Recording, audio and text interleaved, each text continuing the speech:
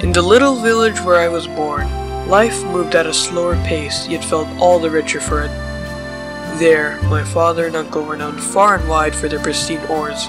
They created their tough iron using only the highest quality farms and golems. People called them Les Frères de Fer, the Iron Brothers. Today, we carry on their tradition in a manner that would make my father proud. The finest golems are brought together with water and care and then slow cooked to perfection. Yes, the old ways are still best at Les Frères de Fer, but don't take my word for it. One anvil and you'll know.